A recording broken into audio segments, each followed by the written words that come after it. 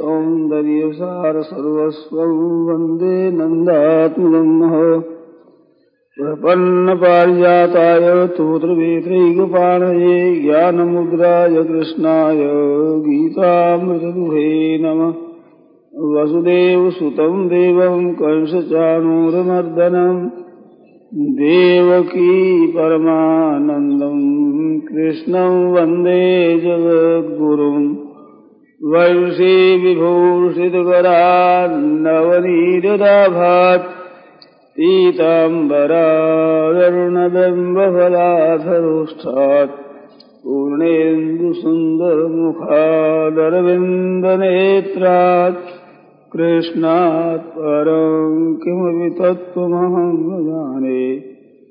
हरि ओं नमो परमात्मने नमस्ते गोविन्दाय नमो नमः श्रीगुरुचरणकमले नमस्ते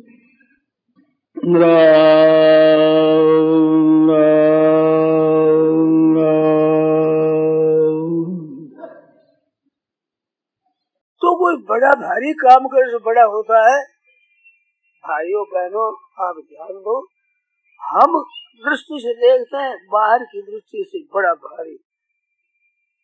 और धर्म देखता है, भीतर की दृष्टि से। तुम्हारा भाव क्या है? तुम्हारा लक्ष्य क्या है?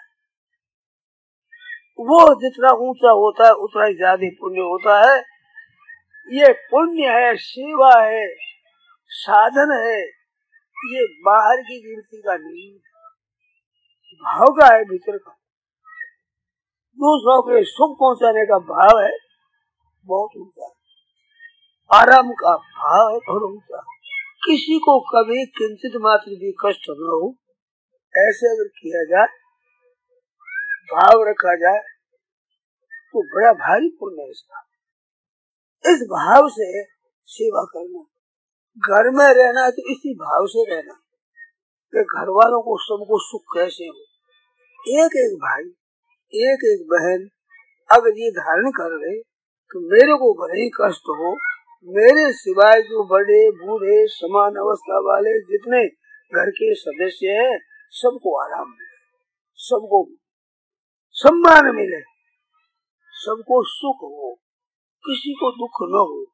काम धंधा परिश्रम मैं करूँ और ये आराम करे। ऐसे भाव से अगर व्यवहार किया जाए, उस व्यवहार में परमार्थ सिद्धि हो जाएगी गीता कहती है स्वकर्मणा से सिद्धि मानव। अपने कर्मों के द्वारा भगवान का पूजन करके मनुष्य सिद्धि को प्राप्त हो जाता है। अपने कर्तव्य के द्वारा सबको सुख कैसे हो, आराम कैसे हो, ये भाव रहे। तो ते प्राप्त सर्वभूत ही प्राणी मात्र में इतनी भावना। जैसे भूखों को अन्न देने का पुण्य होता है, प्यासे को जल पिलाने का पुण्य होता है, जाड़े मर रहा तो उसको कम्बल देने का पुण्य होता है, लज्जा निवारण के लिए कपड़ा नहीं है उस कपड़ा देने से पुण्य होता है। ऐसे आज इस समय में स्वार्थ की मात्रा ज़्यादा बढ़ गई है। तो ये परमार्थ की भूख लगी हुई है भारत वर्ष को, क्योंकि वह परमार्थ करने वाले बहुत हुए पहले। अब उसके बिना अभी तकलीफ़ हो रही है। ऐसे समय में किसी को तकलीफ़ दो, सबको आराम मिले।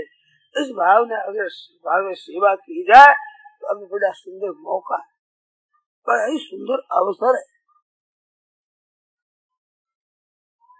कर्ण बड़ा भाई दानी था। उसमें बड़ी विचित्र विचित्र कथाएँ आती कर्ण जब मरने लगा है, पड़ा है, श्वास थोड़े से बाकी है। भगवान ने कहा अर्जुन, आज इस भूमंडल पर से एक दानी उठ गया। वो अद्वितीय एक ही दानी था उठ गया। अर्जुन ने कहा, ऐसा दान क्या करता था? अरे, क्या दानी था वो? तो चल तेरे को बता दोनों ब्राह्मण बने। और पाए पास में गए, कहा इशारा किया। भाई, तुम मर रहे हो, क्या करे? हम तो कुछ लेने के लिए आए थे। तुम तो मर रहे तो मरा नहीं हूँ, मैं अब आप और जगह जाओ, ऐसा नया अवतार न हो जाए भगो वदान्यंत्र में, माँ भूत परिवाद नवा अवतार ये निंदा का अवतार की कर्ण के पास में जाकर के दूसरों के पास गए। आप आ गए हो तो आप क्या दोगे कहते मेरे दांतों में हीर कड़ी है, हीरा। वो आप निकाल लो, आपका मिल जाएगा। राम राम हम ब्राह्मण कैसे निकाल? तो लाओ क्या तो धनुष पड़ पड़ा था, उसको खिसक करके उसने लिया। और धनुष की नोक से ऐसे तोड़ा गया। तो भगवान प्रकट हो कि धन्य ऐसी अवस्था में भी दान देने की प्रवृत्ति अब अर्जुन तो कर्ण तुम मांगो, क्या चाहे तो उसने मांगा है कि दुर्भक्ष भक्ष पड़ जाए, तब तो अन्नदान दे। सुभिक्ष होगा तो मैं हेम दान करूँ। और तुम्हें अभय दाते तो दुखी हो, उसको अभय बना दू। ये मेरे ऐसी शक्ति दी और बोलो, महाराज, अदग्ध भूमि में मेरा दाह कीजिए शरीर का दाह करो तो भूमि अदग्ध हो, जली भगवान का भूमि दग्ध नहीं अदग्ध नहीं है। यहाँ इतने इतने जले, इतने बोधे जले, इतने जले। बहुत बताया अतः भीष्म दग्धम द्रोणानंद स्वयं। दुर्योधन सहस्त्र कर्ण संख्या न विद्यते तो अदग्ध भूमि क्या है? तो भगवान ने कहा, देख, मैंने बहुत भवन अवतार लेकर के पृथ्वी का दान लिया तो मेरा हाथ जा गया ये तो अदग्ध नहीं है। ये हाथ इस हाथ में कर्ण की दाग आज जब करते हैं, भजन करते हैं सिद्धि नहीं होती, पार्वती और शंकर का संवाद आता है। तो भगवान शंकर कहते हैं जीवा दग्धा परान्ने न, दूसरे का हक खाने से जीव जल गई। और हस्तो दग्धो प्रतिग्रहात, प्रतिग्रह लेने से, दूसरे का दाल लेने से, हाथ से लेने से हाथ जल गए। और परस्त्री फिर मनोदग्धम, परस्त्री की तरफ़ दृष्टि गई, मन तो मन जल गया। कथम सिद्धि वरान ने हाथ मारा पहले, जब करे, मन से ध्यान करे, तब ने सिद्धि होती है, इस बात से सिद्धि नहीं होती। ये अदग्ध रहे। तब उनमें ताकत होती है। कागज़ लिखा हुआ है लो पर धरा हुआ, आग लगी, जल गया। उस पर समाचार लिखे, पढ़ लो। परंतु हाथ में लो तो आवेगा क्या? राख होगा। ऐसे ये पानी और शरीर, मन, हाथ दिखते हैं। शक्ति नहीं है। हर अदग्ध होते तो इसमें ताकत रहती तो ये शुद्ध कब होते हैं कि दूसरों का हित करें? स्वार्थ की भावना का त्याग करके सबका कल्याण कैसे हो? सबका हित कैसे हो? ऐसी भावना रहने से ये बड़े पवित्र रहते मन बड़ा पवित्र रहता है। पवित्र मन से चिंतन किया जाए, वो बड़ा भारी काम होता है। तो घर में रहते हुए आप आपस में प्रेम का, आदर का, सत्कार का बर्ताव करें। एक कहानी कहा करता हूँ मैं। आप लोगों के सामने भी कही हुई है। फिर भी कह देता हूँ, याद दिला देता हूँ। एक शेर की कथा आती है कि सात बेटा थे उसके। ठाठ बाट से साथ रहते थे। सबका ब्याह हुआ, एक छोटे भाई को छोड़ सबका ब्याह हुआ। इतनी बहुआ बेटा पोता बहुत सब साथ में रहते थे, एक जगह रसोई बनती थी। पर नौकर काम नहीं करते, रसोई भी वे स्वयं बहुआ बनाती थी। छोटी बहू आई तो देखा छह बहुआ है, वे आपस में बारी बंधी हुई है, रसोई बनाती। किसी का कोई बालक रोता हो, रसोई में बालक को ले जाना चाहिए, अशुद्धि कर भी तो बाहर आती है, कोई कोई काम हो जाता है, सिर दर्द हो जाती है तो आप बना दो तो लड़ते तुमने मेरी बारी बनाई क्या? मैं क्यों बना तुम बनाओ ऐसी बात उस छोटी बहू ने सुनी छोटी बहू थी बड़े अच्छे सज्जन की बेटी। तो पिता ने शिक्षा दी कि बेटा, अपने ससुराल जाओ तो तुम अच्छा बर्ताव करो। सबकी सेवा करो, सुख पहुंचाओ। तुम ऐसा करोगी तो हमारा और तुम्हारा दोनों का कुल पवित्र हो जाएगा। रामायण की बात सुनी है ना? चित्रकूट में महाराजा जनक भी पधारे। भरत जी गए, सुना तो जनक जी पहुँचे। जनक राय थे उनके साथ। बड़े बड़े हल्का बड़े गरीब हाकिम मुसदी बड़े बड़े औदों पर भी राजा के साथ थे। उन दोनों ने उस सबने देखा सीता जी उस जंगल में बैठी सीता जी, मकान नहीं है। खाने को अन्न नहीं है। तो उनकी आँसू आ गए। बड़े बड़े राज कर्मचारी थे। हमारे मालिक राजा साहब की प्यारी पुत्री कितने स्नेह से महाराज जनक ने पालन किया। और आज देखो, हमारी उस राजपुत्री को खाने को अन्न नहीं है। बैठने को, ठहरने को मकान नहीं। रोने लग गए। अब आप जानकी जी भी देखी पिताजी आए तो पिताजी के पैरों पड़ने लगे तो पिताजी ने उठा कर हृदय लगाया, सिर पर हाथ रखा। बेटी खुश हो, प्रसन्न हो, प्रेम के आँसू आ रहे बाप बेटी दोनों, वहाँ जनक महाराज कहते हैं, पुत्री, पवित्र किया, कुल दो, बेटा। कहने दोनों कुलों को पवित्र कर दिया। जनक को वो दया नहीं आई। जो बड़े बड़े अहल गर्भ आई थी। बेटा तेने दोनों कुल पवित्र कर दिया। मनुष्य पवित्र होता है तो एक कुल को पवित्र करता है। और बहन, हमारी ये पवित्र होती है तो जिस कुल में पैदा हुई, वो कुल भी पवित्र हो जाता है। और जिस कुल में ब्याई गई, वो भी पवित्र हो जाता जाती जनक कहते हमारा कुल और दशरथ जी का कुल दोनों को तेने पवित्र कर दिया। अपने पतिव्रत धर्म से उनके राजा कष्ट से दुखी नहीं हुए। राजा धर्म को प्रधान मानते हैं, शरीर के आराम को नहीं। बेटा तेने बहुत अच्छा काम किया। तो ऐसे पिता ने उस छोटी बहू को सिखाया था, कहीं, जाओ सेवा करो। बेटा, इसी से ही महिमा है। आराम की महिमा नहीं है। आराम तो सूर भी करता है, क्या इसमें पड़ा है? तो उसने क्या किया? छोटी बहू ने जल्दी उठकर स्नान कर, शुद्ध कपड़े पहनकर रसोई में जा गई रसोई बनाने लगी। जिस जिठाने की बारी वो होती है नहीं क्या कर रही हो? तो रसोई बना रही हो। हम लोग है आप तो आप बड़े बूढ़े, मैं बालक हूँ आपके सामने। ये तो कृपा करो, मेरे को अच्छी बात। सास ने देखा तो वो कहती है, बहू छह है तेरे। तू रसोई क्यों बनावे? तो माजी रसोई बनाने का बड़ा महत्व है। क्या महत्व है क्या बताऊँगी? रसोई बनाई, भोजन किया, कमरे में गई, बूढ़ी माजी जाकर पूछा, बहू, बता तो सही क्या बात है? कहते आप ब्राह्मणों को भोजन देती हो, साधुओं को देती हो, अतिथि को देती हो, दरिद्र नारायण को देती हो, आप अन्न क्यों देती हो? कहते बेटा, इनके अन्न देने से पुण्य होता है तो घर वालों को भोजन करने से पाप होता है। अन्न तो आप ही घर पर तो बना कर मैं दे तो पुण्य तो मेरे होगा कि नहीं? बात ठीक है सासू के की बात सच्ची है। थोड़ी है तो छोटी और बात बहुत बड़ी कही गई? सास जच गई। भोजन देने से कितनी तृप्ति होती है माँ जी? अन्न तो आपके घर का, पर मैंने तो मेरे घर की है।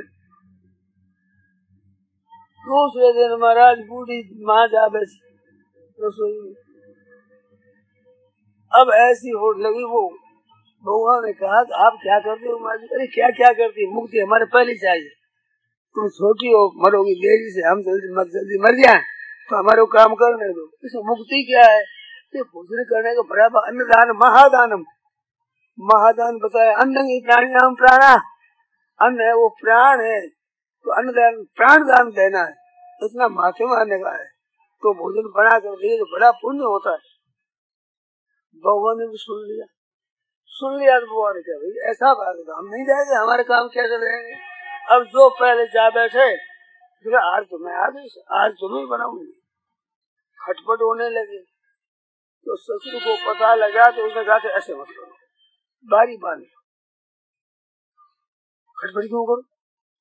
बारी बांधी तो आठ हुई। तू कर तू कर तो छह बारी थी। मैं करूँ, मैं आठ बारी हुई। ये लेने से चीज़ घट जाती है देने से बढ़ जाती है।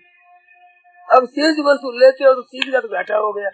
काम धंधा देते हो तो काम धंधा बढ़ गया, नौकर बिना काम कौन करे? अब लेने लगे तो काम धंधा तो थोड़ा हो गया, आदमी ज़्यादा हो गया। आठ बारी आई चार दिनों के बाद बारी आई छोटी बहू ने देखा, अब क्या करे? बारी बंद की तो बंद गए। पुरानी चक्की पड़ी थी, घर में गट्टी पति को कहा, गेहूँ का बोरा लो मंगा लिया दिन में उसको साफ़ किया, अच्छी तरह से। साज में चुप करके सेब साफ़ कर, और सुबह जल्दी उठ कर चक्की चले अब वो ले जाकर रसोई बनाई, उसी की बारी। रसोई बनाई, ताज़ा आटा एकदम हाथ का पिसा हुआ। कल तक में पीसा जाता है तो गर्म गर्म रह जाता तो जल जाता है। अब हाथ का ठंडा आटा को बढ़िया बनाया। लोग कह रहे हैं, आज क्या बात है? आज तो फलकों में कुछ जायका ही विलक्षण है। क्या बात? सबने प्रशंसा करी। पता लगा तो दूसरे दिन वो तो आज पीस मेरे ढाई तीन से अपना रख दिया। अब जितना रटवाता लगेगा सासू ने जा करके तुम बावली हो क्या? अपने घरों में पैसों की कमी नहीं। तो हाथ से क्यों पूछ कहते, माँ जी, हाथ से काम करता है, इनका शरीर अच्छा रहता है। पसीना आता है, रोग निकल जाता है सभी, व्यायाम हो जाता है। तो तू क्यों पीस है? कि कोई भले रसोई बनाओ, आटा तो मेरे चलेगा कि नहीं? ये तो पुण्य मेरे को ही होगा। ऐसी बात है ना। अब महाराज सासू पीस नहीं लगी। अब कहे, हमारे तो चक्की एक क्या करें? पूरा सबने कहा से एक चक्की सब गौरव में लाओ। हम तो आपकी सही इसने का बड़ा पुण्य होता है। शरीर ठीक होता है। अब दो दो तीन तीन सौ रुपये से दूसरा हो जाए अब कहाँ तक करे? अठारह बीस अदमन का चल रहा अब क्या करे? और देखा, अब क्या करे? आटा तो कहते आटा बहुत हो गया। सब बिक्री करो, कल्याण करना है हमें तो अपना। छोटू बहू ने समझा वो क्या करो? वो सुबह जल्दी उठ करके घर में कुआ था, उसे नौकरा था, पानी घास में भर देता। छोटी बहू उसे जल्दी स्नान करके और जल सब भर गया तरान पर। नौकर आकर देखा तो साफ़ जल भरा हुआ। वो हाथ पर हाथ धरे बैठा है। सेठ सेठारे बैठा कैसे तो क्या करूँ? तो जल भरना है? तो जल तो भरा हुआ है। ये बात सुनी सेठानी ने सेठानी गई छोटी बहू के कमरे में तो है किसने भरा कहा, बोलो मत। आपको कहना है, गाँव को हिला मारना हमारी सब जितनी हमारी कमाई नष्ट हो जाती है। कहने भरा है। भरा देखो माँ जी, आपने बैसाख मातम सुना कर जल दान की बड़ी भारी महिमा, अंध से भी बढ़ गया जल की महिमा। अन्न तो एक बार खावे, थोड़ा आदमी खावे। पानी तो हर एक पी ले, हाथ धो ले पैर धो ले पानी कितना काम आता है। तो इसमें सेवा अन्न से भी ज़्यादा होती है। ऐसी है जल की सेवा, ऐसी बात है कहा दो दिन महाराज बूढ़ी माजी जाकर कोमल कोमल हाथ वृद्धा अवस्था भगवान कहते माजी क्या कर रही हो? कहीं भाई मुक्ति करो क्या करो कहीं गिर पड़ोगी, लग जाएगी तो हम सबका काला मुँह होगा इतनी घर में भगवान है सास पानी भरे बड़ा बुरा लगेगा। अरे बुरा लगे कल्याण तो होगा मेरे हाथ दोनों तोल कर दिया कौन सा बढ़िया काम? भगवान देखा ये काम ठीक अब महाराज ये दो उसमें क्या था, ऐसे मत करो। बारी आया। छोटी बहू ने देखा अब क्या करें? तो झाड़ू देने वाले आया करती तो जल्दी उठ कर अपने कमरे में दूसरी गलिया में सब जगह झाड़ू दे, साफ़ कर लिया झाड़ू देने वाला आया, क्या किया? वो रस्ती आई है कर झाड़ू। भाई साफ़ सफ़ाई की हुई है तो। सास ने पूछा, बहू क्या करती हो? कपड़े खराब हो जाए, इसका कि माँ जी, कपड़ा खराब हो जाए हृदय निर्मल हो जाए। सबरी की बात आपने सुनी नहीं? बड़े बड़े ऋषियों को छोड़ करके भगवान राम सबरी के घर पर गई क्यों? ऋषि मुनियों के स्नान करने के जाने के साथ रास्ता बुहार कर साफ़ कर देते, कांटे कंकर दूर कर देते थोड़ी थोड़ी बालू बिछा देते। ऋषि मुनि जाते तो राम जी पहले मोटा मोटा मुनि के ना आश्रम मुखी ने सबरी ने घेर जाए थे। सबरी के घर पर गए। कारण क्या है? जो दूसरों को साफ़ कर दे और साफ़ हो जाते अब बूढ़ी मारी झाड़ू देने लगी। वो उन्हें समझाओ, क्या करें? हम तो जो कुछ तरकीब निकाल रहे हैं हमारे छूट जाती है सेवा। भोजन सब कर ले तो एक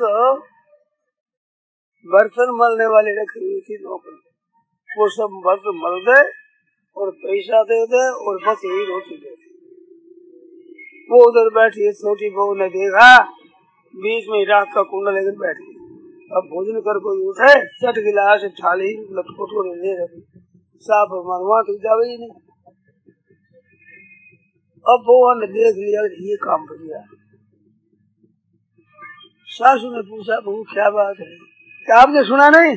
पांडवों की एक में भगवान ने जूठन उठाई थी। ये छोटा काम है क्या? सेवा में जितना छोटा होता है, उतना ही काम बड़ा होता है वो। ऐसी बात है। ये बात है कहा? कभी तो भगवान ने जूठी क्यों उठाई सबसे पहला पूजन भगवान कृष्ण का हुआ। और ब्राह्मणों के चरण धोए और पत्तल उठाए। ऐसी बात है अब महाराज उसमें लग गई सभी। एक भाई भोजन कर रहा था और उसकी स्त्री खड़ी थी। माँ जी आए। माँ जी आए कि देखो ये थाली मैं मांगू। कि देखो माँ जी इस थाली पर हक मेरा लगता है। मेरे प्राणनाथ है, पति है।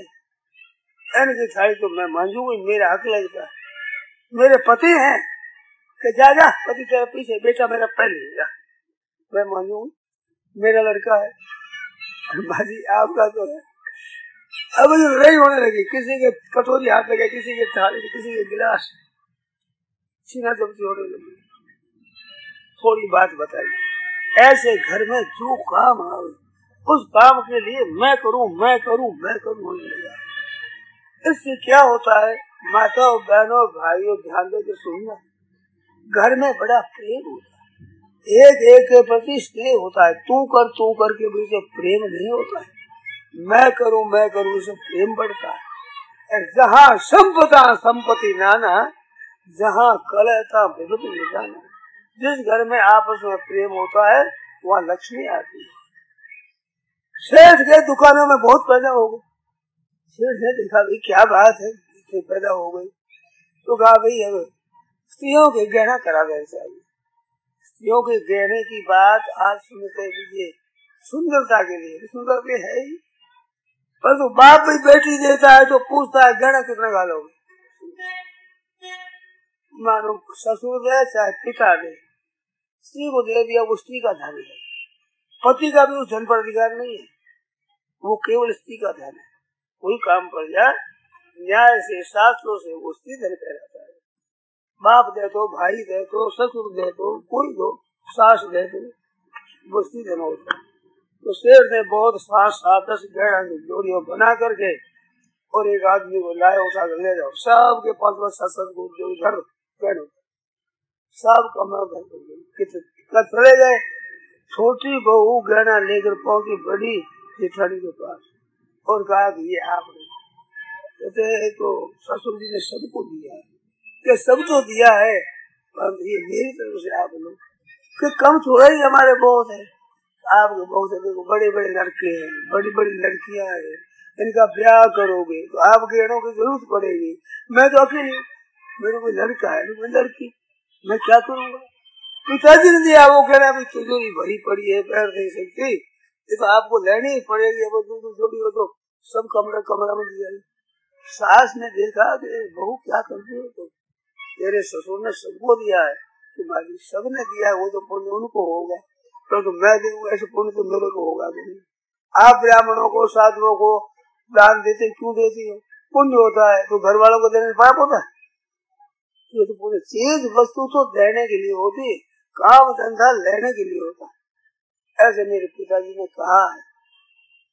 सास ने कहा तुम मूर्ख हो सभी, ये लूट लेगी सबको। ये काम धंधा करके चीज़ वो दे देगा, तुम्हारा धर्म तुम लूट लेगी। कि मेरा तो काम करते तो तुम मूर्ख को समझती नहीं हो। काम नहीं, लूट रही है अब हम तो नहीं देंगे, सर। काम धंधा देंगे नहीं। चीज़ वस्तु हम दूसरों को देंगे लेंगे नहीं। इनके गहने कम ही कम होते हैं बड़ा वो गहने ही ज़्यादा हुए वो तो उस कमरे में पट कर, वो उस कमरे वो गहना हो गया बहुत। लेने लगने से चीज़ घट जाती है, लेने लगने से चीज़ घट जाती है। ऐसे आपस में उनका प्रेम बढ़ा साड़िया देने गहना दिया तरह तरह की चीज़ें दी, और वे आपस में एक देखिए प्रेम बहुत बढ़ लेत देत मन शंकर घर ही फल अनुमान सदा हित कर ही प्रेम के लक्षण बताए ये मित्रता होती है इसलिए घर में प्रेम बढ़ा उसकी महिमा हो गई गाँव भर में कि कैसा है साथ बेटा है सभी साथ में रहते हैं और सभी लोगों का कितना स्नेह और प्रेम है सगे संबंधियों ने विचार किया कि बेटी देनी तो ऐसे घर में देनी जहाँ हमारी कन्या सुख पावे और लड़की लेनी तो ऐसे घर की लेनी। जैसे ठीक है। जहाँ दुरानी जेठानी लड़े, सास और बहू लड़े, ननद और भूजाई लड़े। उस घर की छोरी लाओ तो एक आग की चिड़गारी है। अपने घर में लाइट ला लग जाएगी। ऐसे घर में बदलाओ छोरी लाओ तो ऐसे प्रेम के घर की लाओ। लोग बेटी लेना चाहते हैं और अपनी बेटी लड़ा भी चाहते हैं। जहाँ हमारी कन्या सुख पावे, आराम पावे। इसलिए की इज़्ज़त बढ़ी, धन बढ़ा और धर्म भी बढ़ा और भगवान भी राज़ी होते बच्चे आपस में खेलते हैं, राज़ी रहते हैं तो माँ बाप खुश होते हैं, इनाम देते हैं, मिठाई देते हैं और वो लड़ने लगते हैं तो बताए लड़ते क्यों, एक दो थप्पड़ वो और मारे। पहले तो आपस में मार खाई, फिर बाप की मार खाई तो मूर्खता है साथ खेले ऐसे ऐसे ऐसे आप लोग भी आत्मा प्रेम रखो तो भगवान रूपी माँ बाप राज़ी होंगे। नहीं तो वो थप्पड़ और लगाएँगे डरते क्यों? तो आपस में प्रेम है बड़ी भारी चीज़ है। एक लड़का आ गई बहू घर पर लड़का एक था, एक सास थी, एक बूढ़ी माजी थी, दादी दादी सास। जो वो बहू है मानो छोरी की सास है, उसका तिरस्कार करे। बूढ़ी दादी जी का अपमान कर दे, गाली दे दे। छोरी ने देखा ये क्या बात मेरे पिताजी ने कहा कि बड़े बूढ़ों का आदर करना, वे साक्षात तीर्थ स्वरूप है घर में। वो बूढ़े बड़े हैं और मेरी सासू तो तिरस्कार करती, अपमान करती। है परंतु थोड़ी थी बड़ी बुद्धिमती समझदार बोली नहीं। सब काम धंधा करे तो का बर्तन करके जाकर सब बोली, माजी के पास बैठ जाओ शरण चापी करे, बात करे। अब सासू को सुहाता नहीं। सासू कहती, वहाँ क्या करते हो? कोई काम काम तो नहीं वहाँ क्यों बैठी? अब छोरी क्या देती है तो ध्यान सुनना है सोनिया में तो वे भी सुन लेना पहले। तो मेरे पिताजी ने कहा है कि जवान छोरों के पास नहीं बैठना, जवान छोरियों के पास भी नहीं। बड़े बूढ़ों के पास बैठना और वहाँ से अपने धर्म की शिक्षा लेना तो अपने घर में से बूढ़ा तो कोई है माँ जी बूढ़े पास बैठती तो क्या सीखती हो? तो मेरे पिताजी ने कहा है कि हमारे घर की रीत नहीं चलेगी, रीत तेरे ससुराल की चलेगी वहाँ। तो सासरे की रीत तो चलाना वहाँ। तो हमारे घर में तो बड़े बूढ़ों को आदर की दृष्टि से देखते ऐसे देखते हैं तो मैंने पूछा, मेरी दादी सासू से कि सासू, जी, बताओ, मेरी सासू आपकी सेवा कैसी करती तो क्या कहा उन्हें उन्होंने कहा कि गाली न दे, ठोकरी न मारे तो मैं तो सेवा ही समझ लू। कि ऐसे किया करते कभी? सुनी जैसी बात आप लोग कही है। मैंने मिलाई गुरु भाव भाव बेची अब वो सासू डरने लगी। अब जो बर्ताव करो, तेरे लिए तैयार हो जाएगा। मेरे पिताजी ने कहा कि अपने सासरे की रीत चल रहा है वहाँ। तो सासू कहती ना ना, तू तेरे तीस रीत चला। ठीक है रीत चलाऊ वो सासू को ठीकरी में भोजन दे एक जगह देखा कोने में ठीकरी कटी है बहू है ठीकरी कटी को करी है? तो मेरे पिताजी ने कहा है कि सासरे की रीत है तो बड़े बूढ़ों को ठीकरी में भोजन देना। कहते रीत थोड़ी तो क्यों है थाली कौन मारे थाली मैं मान दू आप हुक्म दे दो थाली मान दिया थाली में दिया गया उठा ठीक है तो आप वहाँ से क्या आप थाली थाली में भोजन अब भोजन सासू पुरुष है तब भी नहीं जाते तो सब भोजन कर दे बाद में बसी हुई दाल रोटी खिचड़ी जली हुई वो परोस देखते क्या निर्णय करते हो कि बड़े बूढ़ों को भोजन कैसे दिया जाए? अब दाल में कंकर नीचे रह जाए, जड़ी हुई खिचड़ी, खुरचन। तो ऐसा भोजन दिया जाए। अरे ऐसा नहीं रीत थोड़ी है। मेरे पिताजी ने कहा शास्त्र की रीत चालू ना। मैं तो शास्त्र की रीत चलूँगा। रीत नहीं है ये तो पहले कौन दे? आप आज्ञा दे दो हुक्म दे दो कि तुम पहले भोजन दे दिया कर। बस ठीक है, अब मैं कर दूँगा। रसोई तैयार होते चट गरबा गर्म खिचड़ी कढ़ी, रोटी, दाल, भात, जो कुछ बना है जाकर माजी को दे माजी का तो भाग खुल गया, बेचारी दशा गिर गई छोटी वो आ गई। अब भोजन देने लगी, वो आशीर्वाद देने लगी। कपड़ा धोया तो इसलिए से लच गया। सुखाया थी देख, क्या देखती हो? देखती हो बड़ों को कपड़ा कैसे दिया बूढ़ों फिर पागल दिए हो जाता है तो फाड़ जाते से हो जाता है, फिर वही रहने देता नहीं, तू बदल दे, बस आप आगे दे तो बदल दूँगे मैं। सब काम मैं कर दूँगी हुक्म आपका चलो। कितनी बुद्धिमानी की बात करी, स्वयं नहीं किया काम। स्वयं कहा नहीं कि माजी ऐसे मत करो तुम, पूरी माजी की सेवा करो, कहा नहीं। ऐसी बुद्धिमानी से काम करे सात सीधी हो गई। एक दिन बैठ गए तो वो हाथ रहने से मुँह लचके से क्या बहू, क्या देखती है? तो देखती हूँ बड़े बूढ़ों को खाट कैसे दिया, माथा कैसा दिया जाए तो फिर वही बात? दिया थोड़ी जाता है तो ये तो टूट जाता है। फिर वही रहने देना नहीं, तू बदल दे। भीतर नवार का ढेर धोलिया, बढ़िया जाकर बिछा दिया। माँ जी के बढ़िया बिछोना बिछा दिया। कपड़े बढ़ा दिए। माँ जी तो आराम करने लगी। और बहू को आशीर्वाद दे। जिसको फ़ायदे का फ़ायदा। माई तो की सेवा हो गया अपने को आशीर्वाद मिले। और सासू को हुक्म से नहीं काम करके ऐसा सिखाया। हुक्म कर, काल की छोरी मेरी गुरु बन गई आकर हुक्म देती है और शिक्षा देती है। तो बुद्धिमानी के साथ ऐसे शिक्षा दी जाए। एक बात हमने सुनी, एक दिन पांडवों के कोई ब्राह्मण आया। तो ब्राह्मण आया, मांगने के लिए विष्णु महाराज ने कहा, कल परसों आप आना, पंडित जी, आपको दान देंगे। भीमसेन ने बात सुन ली। बड़ी नौबत, बड़ी डंका बजाने लगा भीमसेन, क्या बात है? बड़ी खुशी की बात आज बड़े आनंद की बात। क्या? कल परसों तक आप भी रहोगे हम भी रहेंगे, क्योंकि आपने कहा परसों रहेंगे। तो आप नहीं रहोगे, कौन देगा अरे हमारे कोई मर जाएगा तो कैसे दोगे? मालूम होता उतने हम ठीक रहेंगे। उसने कहा, भैया, आप भूलो दान देने भविष्य नहीं करना चाहिए। दान तो तत्काल देने सुतम भी आए, बहुत सहस्र लक्ष्म भी जाए दातव्य लाख काम खोटी होता हो, छोड़ कर पहले दान देना चाहिए। भूलो तो शिक्षा देने का तरीका है। ऐसे तरीकों से शिक्षा दी जाती है, बड़ों को शिक्षा देनी अब शिक्षा तो सभी दे सकते हैं। हुक्म थोड़ी दे सकते हुक्म तो बड़ा है, वो इस तरह का व्यवहार करो आप, आपस में। सुंदर व्यवहार करो तो आपकी भी महिमा होगी। जैसे सीता जी को देखकर जनक जी ने कहा कि दोनों कुल पवित्र कर लिए तो इसमें आपका कुल पवित्र होगा और व्यवहार पवित्र हो जाएगा। एक बात और है कि सत्संग करके ऐसा करोगे नहीं, हमारी भी इज़्ज़त बढ़ जाएगी।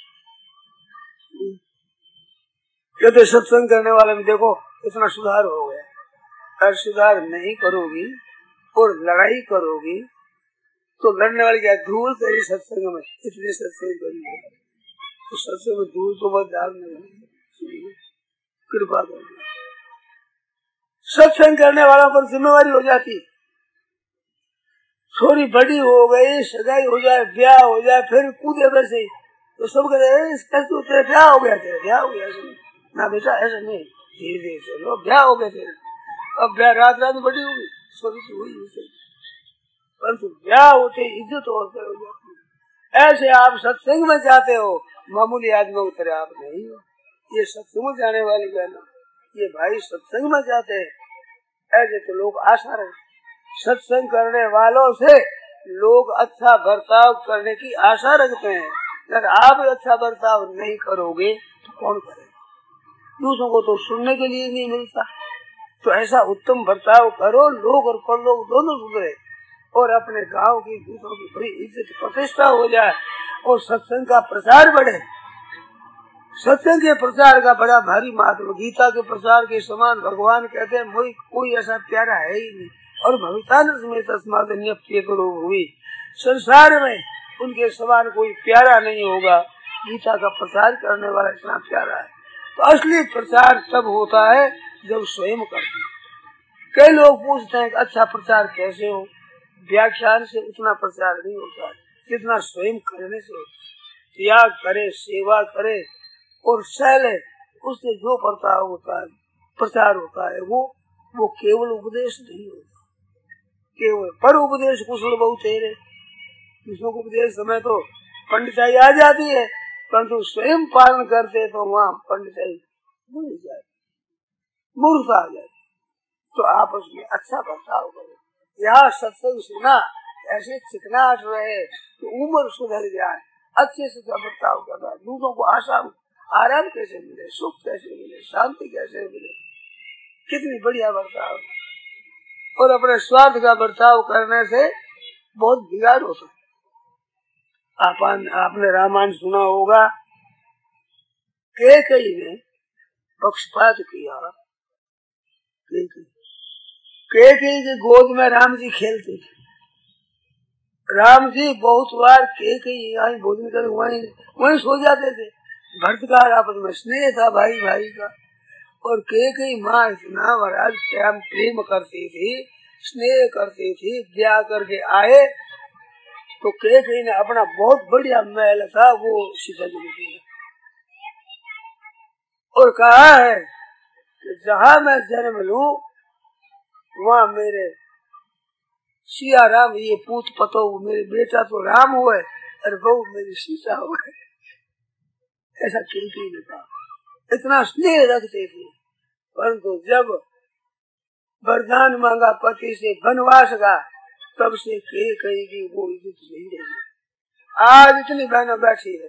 किसी को पूछो कई कई नाम वाली कोई माता बहन बोले जिसका कई कई नाम है।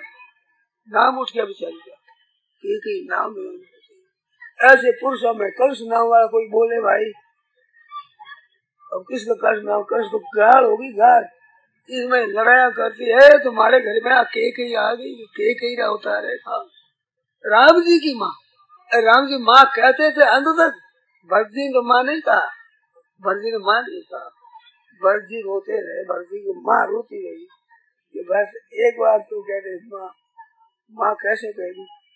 बेटे को बिना कशु जंगल में निकाल दे, वो माँ होती? वो माँ के नहीं नहीं माँ कहने गई बल्कि महारानी साहब कहती थी। दिखती रहेगी कि मैं वरदान मेरे को एक बार कहते माँ, ऐसा कह दे। कहूँ कैसे? ये माँ का लक्षण नहीं है। माँ तो सदैव संतान का पालन करती है, प्यार करती है।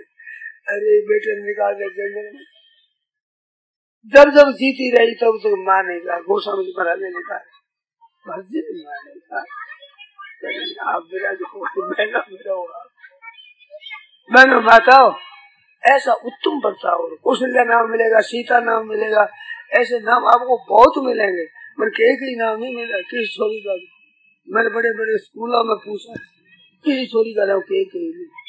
बड़े बड़े विद्यालय में पूछा, छोरा किसी का नाम? कृष्ण नहीं नाम वो मामा था? ये माँ थी, मासी थी। और कृष्ण था मामा कृष्ण भगवान का।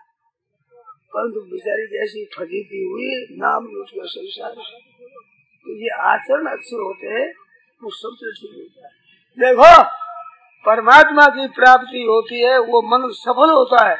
तो संसार में परमात्मा को बनाना नहीं पड़ता है। परमात्मा मौजूद है, व्यवहार हमारा शुद्ध होगा तो भगवान मिलेगा। और व्यवहार नीचा हो जाएगा, भगवान नहीं। व्यवहार शुद्ध बनाना है, आचरण शुद्ध बनाना है। जहाँ रहो, जिस जगह रहो, वहाँ ही सेवा करो, सुख पहुँचाओ, आराम पहुँचाओ, हित करो।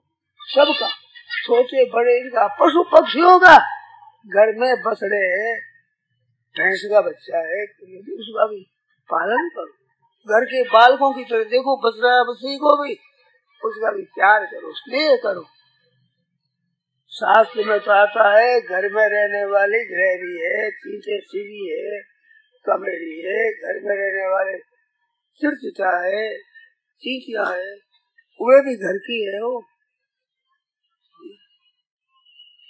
चींटी सीढ़ी कमेड़ी उधर घर ही में घर केता। एक घर में कितना घर होता है? सीढ़िया लड़ती है आपस में? वो मेरा घर है, वो तो मेरा घर है। आया जो सभी जादू बस दिन दस लेता या घर में क्या तेरा मूर्ख, या घर में क्या तेरा? जीव जंत बसे घर माही सोई गए घर मेरा। या घर में क्या तेरा? तुम आकर रहे हो। हम तो किसी कमरे में रहते हैं, वहाँ कीड़ी आ जाती है तो कीड़िया आ गई। वो कीड़िया नहीं आ गए आप आ गए। हम आए। कीड़िया तो पीढ़ियों से रहती है। उनका तो खास सोचने का घर है। हम आ गए बीच में और कमरे में कीड़ी आ गई कीड़ी आ गई। बाबा, कीड़िया नहीं आए, तुम आए तो पीढ़ियों से इनका घर है, इनके घर पर आप आए अपना घर है। तो सर्व तो सबका घर है। यथा योग, उनका भी स्थान है। अपना भी स्थान है। आज कहते मार दो, उनको मार दो, उनको मार दो जीव जंतु को मार दो। इनका बस चले तो आपके लिए क्या कानून बनेगा? आप कोई मार दो, यही बनेगा। वे बात काटते हैं, मच्छर काटते हैं तो मच्छर काटते नहीं, बैर नहीं है। वे मारते नहीं है आपको, वे तो बेचारे भोजन करते अब वो खेती करेंगे? मच्छर चलो खेती करेंगे वो तो इससे काम चलाते हैं। वो तो बेचारे अपने पेट भराई करते हैं। आप उनको मार देते बड़ा पाप। वे भी प्राणी है। बचाओ। अपने को बचाओ करो। मशीनी लगा लो। ठीक तरह करो। दो दोष की बात नहीं। परंतु मारने का अधिकार आपका नहीं आज एक प्रवृत्ति चली है, पहले ऐसी नहीं खेती में भी जंतु तो मार दो, खेती को भी मार दो, पशुओं को भी मार दो। अरे मारने से पर पता नहीं है गाड़ी का देखो, पहले नहीं मारते थे, धान का क्या भाव था। और आज खेती भी ज़्यादा करो करो हल्ला मचाते और जंतुओं को मारते हैं तो क्या भाव है धान का? देखो आप। अरे भाई, दूसरों का अहित करता है उसका अहित होता है। जिसकी जड़े पूरी उसका जलता है, पूरा। किसी की तोड़े धुरी उसका टूटता है, धुरा। कल युग दिए कर युग है इस हाथ दे इस हाथ में क्या खूब सौदा नगद है? सौदा नगद इस हाथ से दूसरों का हित करो। भगवान ने आपको बुद्धि दी है, धन दिया है, आपको योग्यता दी है। तो दूसरों के सुख के लिए दी है मारने के लिए दी है। उनका मौका लगे तो वे भी मारेंगे जीव जंतुओं की बहुत हत्या करती है ये बहनों माता छोटी छोरी आजकल की श्रृंगार करती है। कितने जीवों की हत्या होती है, जिससे वो पारस बनता है यहाँ का। ये लगाने का, नखा के लगाने का, राम राम राम। उसी हाथ से रसोई बना मुर्दा लगा लिया मुर्दा। बढ़िया बढ़िया वैल से लगा बढ़िया बढ़िया साबुन लगा हुआ जिसमें चर्बी पड़ती है, जानवरों की। मुर्दा सही के रगड़ रगड़ लिया, और हम शुद्ध हो गए। महान मुर्दा जाते हैं मसाना में, कपड़ों के सहित स्नान करते हैं, और वो चर्बी लगा लिए, शुद्ध हो गए। शुद्धि और चीज़ है, सफ़ाई और चीज़ है। हड्डी को भी तेजाब जो साफ़ कर दो तो शुद्ध कैसे हो जाएगी? बढ़िया साबुन बनता है, उसमें मैंने सुना है कि मनुष्यों का मैला भ्रष्टा इकट्ठी करके उसको मत करके उसका चिकनास लेकर के और उससे साबुन बनाते वो बढ़िया साबुन होता है।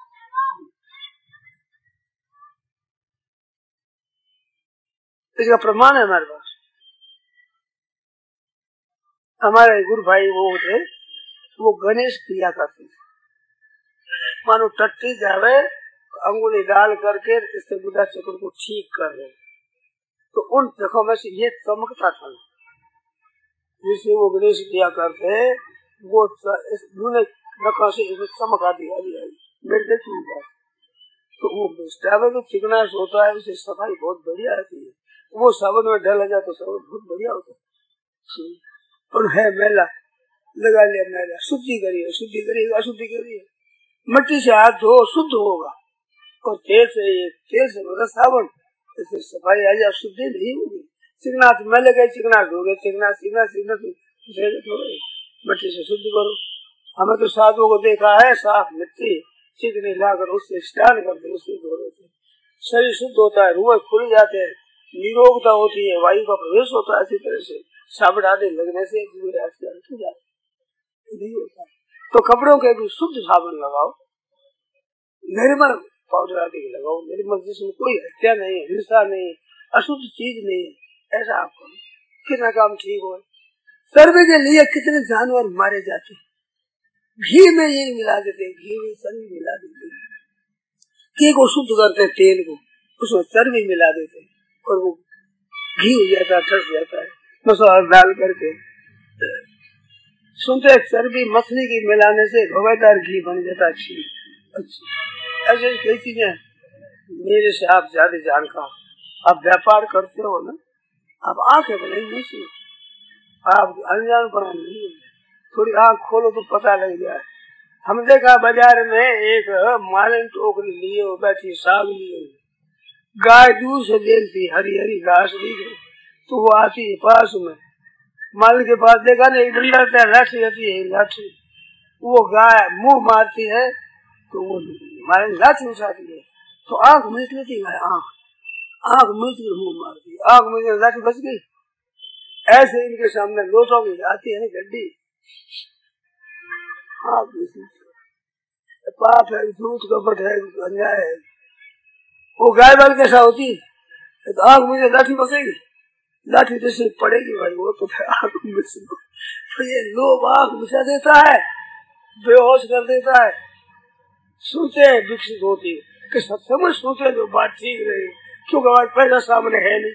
इस बात से सुन लेते हैं, राज़ी राज़ी। हाँ हाँ हाँ कर देते हैं। पर पैसा आवे सामने तब सब भूल जाते एक पंडित से कथा सुनी, कि रात्रि में वो कथा बांटते थे तो पढ़ते थे, प्रकाश में। तो एक बिल्ली पाल रही थी, बिल्ली। वो यूँ बैठ जाती।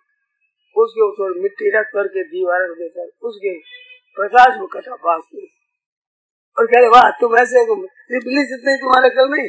सोचा बैठे सुनो देखो तो बिल्ली है, ये बैठी एक मशवरा आदमी था वो एक सुहा पकड़ कर ले गया।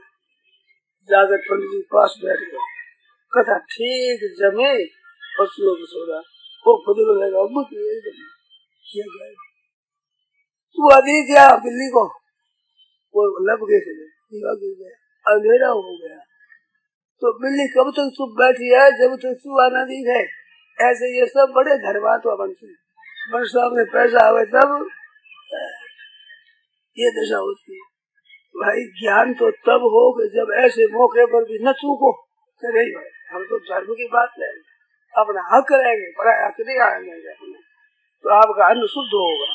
पर आज अन्न कौन सा? दो नंबर का अन्न खाते। एक नंबर का लगाते व्यापार में। दो नंबर का खाते, फिर उसी, बुद्धि एक नंबर की कैसे हो जाएगी? याद बख्शे चार नंबर, बुद्धि ही तादृशी जैसा अन्न खाते, वैसा मन बनता है तो बुद्धि मलिन हो जाती है।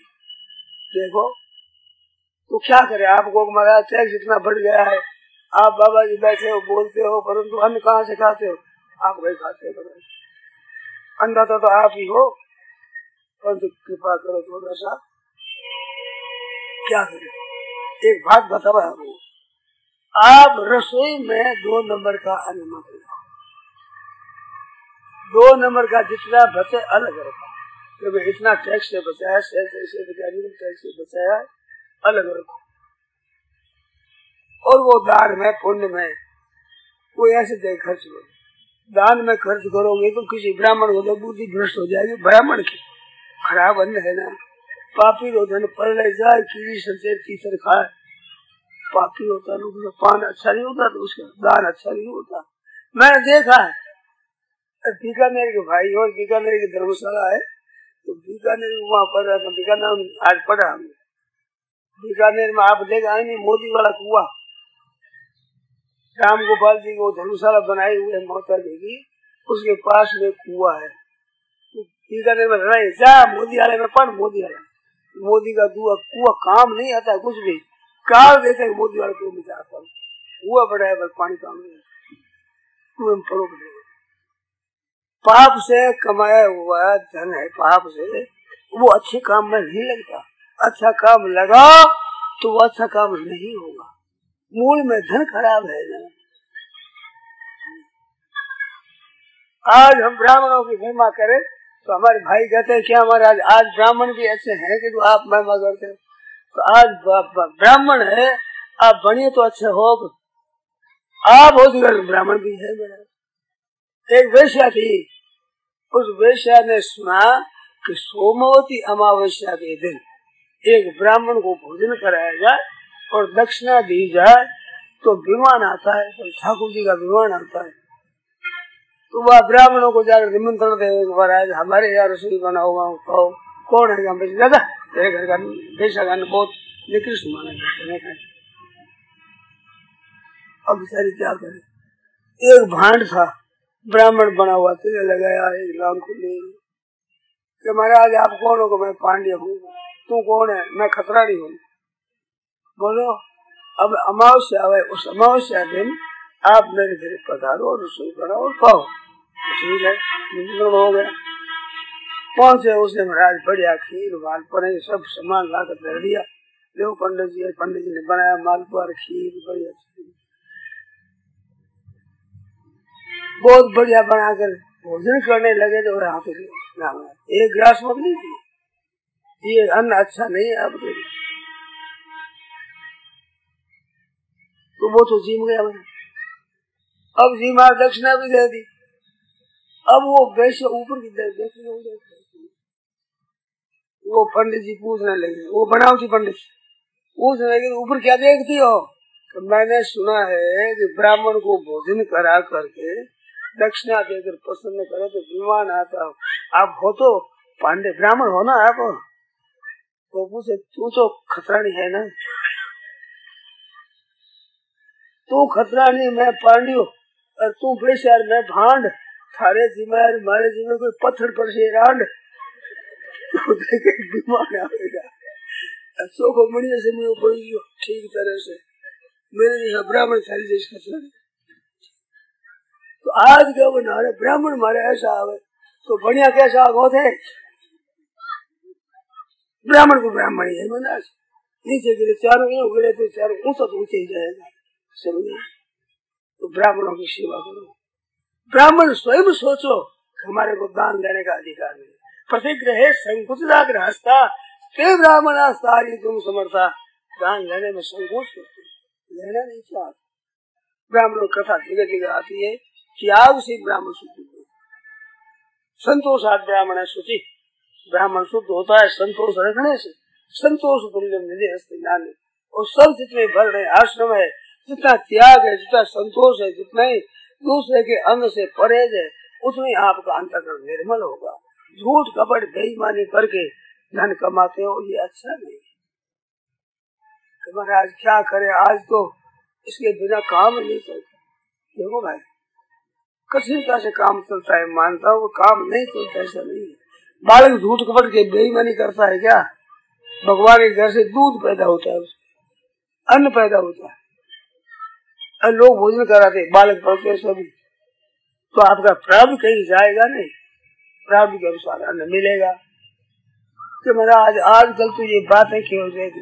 बिना पाप किए आज तो काम नहीं चलेगा। तो मैं कहता हूँ, काम नहीं चलेगा तो वह बंद होगा। बंद होने का अर्थ हुआ मर जाएँगे। अन्न नहीं मिलेगा। बात है रोगी नहीं है।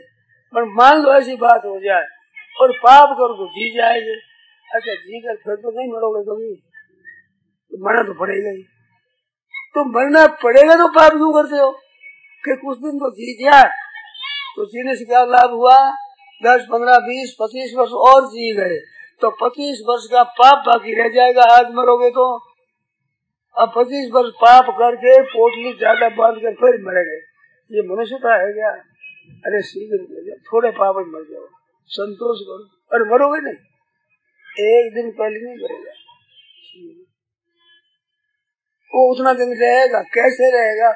मैंने कई कथाएँ सुनी है, आजकल की घटनाएँ कई सुनी एक बालकों की कहानी आती एक बालकों की कहानी है कि शहर में से लोग बंगाल आदि में चले गए मार मारवाड़ में सोना घर पड़ा था, उसमें भूत प्रेत रहने लगे।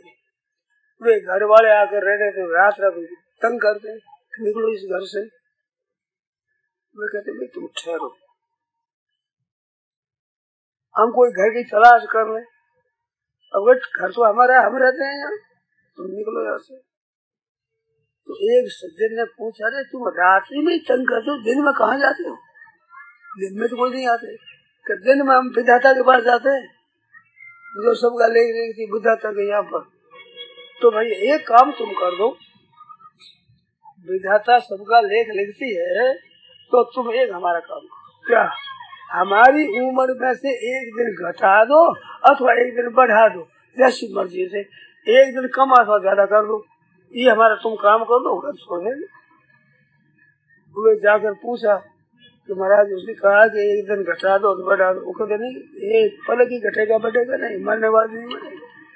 रात आए भूत पर क्या कहा? कहते एक दिन घटेगा बढ़ेगा नहीं। तो निकलो निकलो तुम अब हमारे घटा के मार देंगे, मार तो मार दो पहले। ब्रह्मा जी तो घटा ही नहीं सकते बढ़ा ही नहीं तुम मार दोगे। निकलो तुम यहाँ से। भाई, एक दिन भी घटना बढ़ना नहीं होगा।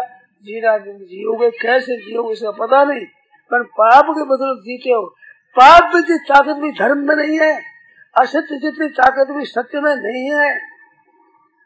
आप जाकर सोचो। हिम्मत नहीं होती है, आप हार जाते हो हार मत मानो।